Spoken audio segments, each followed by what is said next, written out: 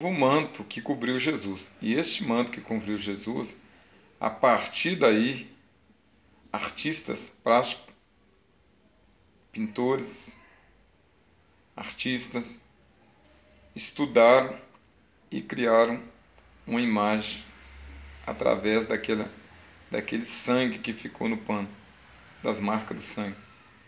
E criou essa imagem, seria de Jesus na época, manto, né?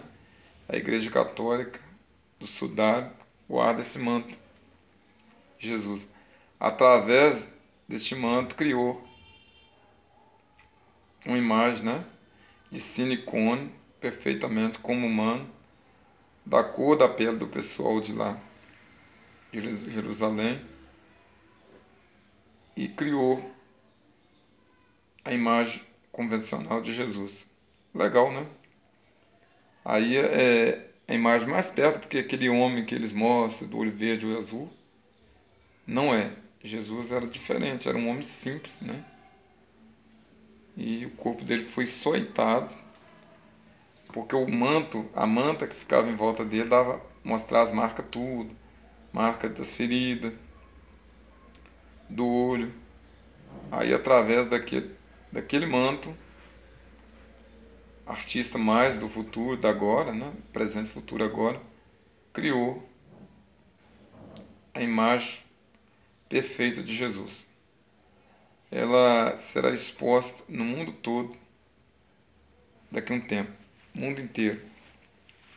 Legal a pessoa ter uma ideia como seria o corpo de Jesus naquela época, né? É totalmente diferente daquele Jesus que a gente conhece, né? Olhos azuis e tal. Aí criou para.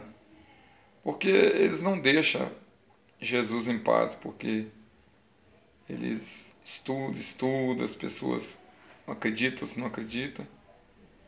Enfim, para chegar em algum. Eu gosto do curioso. O curioso tem que, tem que ter o curioso, né? Aí a ciência, artista prático, conseguiu fazer uma imagem perfeita de Jesus. Legal, eu gostei. Eu gostei. Porque o pano envolveu o corpo de Jesus e ficou pelas marcas do pano. Eles conseguiram criar